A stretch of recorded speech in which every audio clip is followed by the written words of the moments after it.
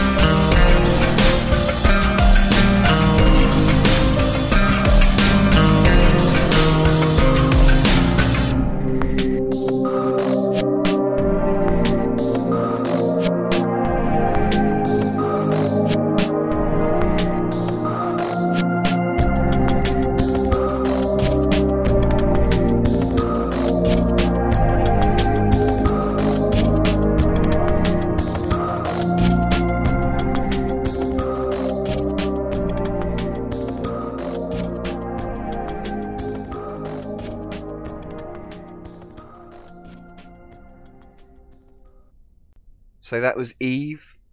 Very easy to land on because of its dense atmosphere.